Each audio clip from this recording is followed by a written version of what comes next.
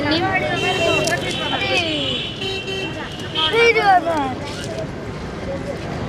Мама,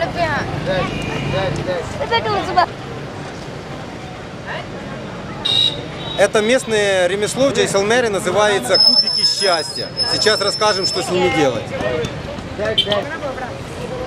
В Джейсалмере есть такое местное искусство, как э, набирать имя вот с таких специальных кубиков.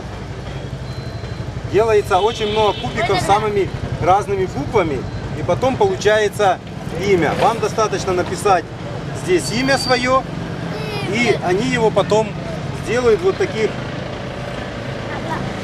маленьких браслетиках или подвесках в машину с вашим именем. Здесь просто горы и море этих кубиков, каких хотите, и с, раз- с разными символами. You.